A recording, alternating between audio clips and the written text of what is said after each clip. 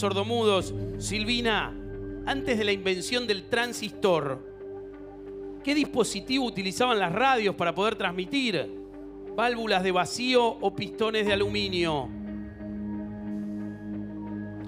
Pistones de aluminio. Incorrecto. Los pistones de aluminio son una parte de un motor de- de- del auto.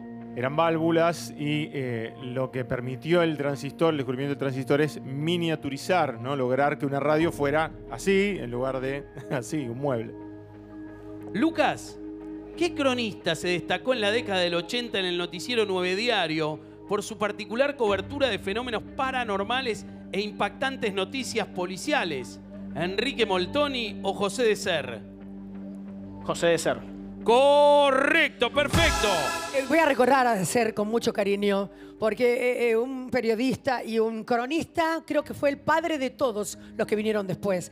Eh, se metía a buscar eh, un, un marciano, un lobizón que andaba por ahí. Era algo muy atractivo de ver y de escuchar. Y le pedía a su camarógrafo, que era el Chango Torres, seguime, Chango, seguime. ¿no? Lo hizo un personaje a ese camarógrafo.